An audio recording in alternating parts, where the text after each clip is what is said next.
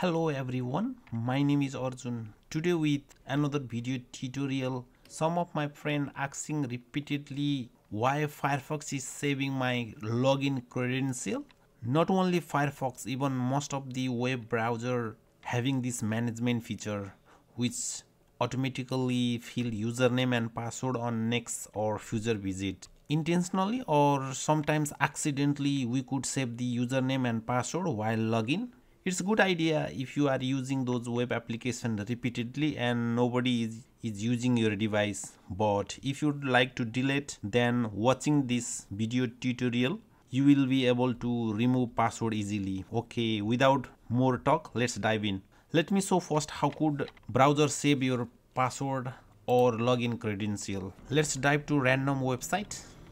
Let's go to w3schools.com this is nice. This is really nice informative website. Let's log in.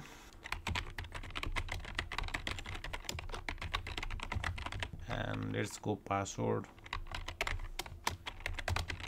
And if you hit login you can see this dialog box pop up.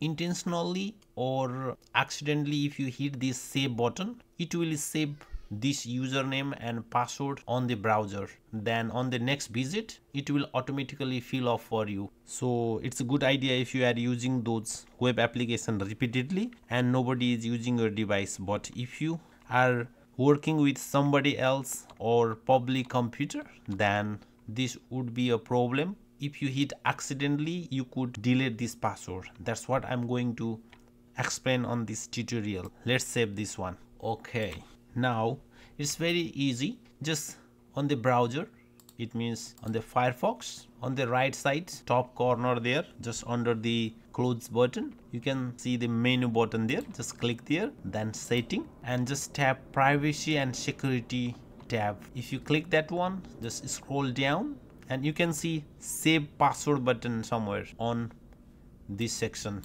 password section. If you hit that button you can see a lot of if you have list bundle here. Whatever you have saved before it will appears all those here. I have just three here. You can just click. It means just select and just remove. Or if you want to delete all of them at a time then just click on these three and remove all password. Let me delete one. If you hit this it will come up here and just remove remove it's gone. If you would like to delete whatever here on the list all of them then just go there remove all password. Yes remove password remove all. Now on your next visit browser or web application will not fill those login credential automatically for you hope this video is useful. Thank you for tuning my channel especially this video. Please don't forget to subscribe my channel if you would like to encourage me to create these types of video more in future. And please give a thumb up